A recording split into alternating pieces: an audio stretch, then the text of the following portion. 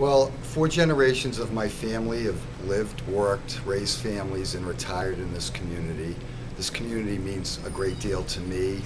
Uh, my mother raised me as a single parent, myself and my sister, and the community institutions that helped raise me, the schools I attended, uh, the teachers I had, the coaches I had, had a great impact on my life. And for the past 20 years, I've been in public service uh, as a youth worker, uh, then assistant director at the Jackson Mann Community Center, then the uh, executive director of the Veronica Smith Senior Center for the past 14 years.